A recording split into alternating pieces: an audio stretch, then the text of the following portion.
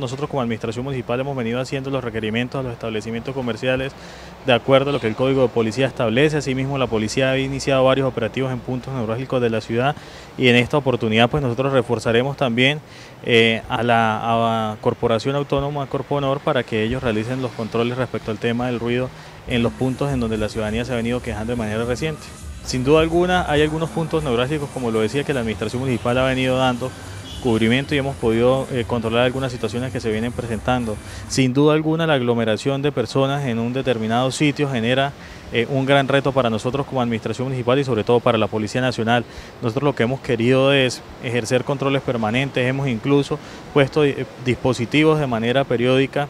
para que este tipo de situaciones no se presenten, pero vuelvo y repito, en cualquier punto de la ciudad donde se haya, donde se haga una aglomeración de personas, pues va a ser un reto para nosotros y poder controlar esa situación es lo que hemos venido haciendo desde la administración municipal junto con la Policía Nacional.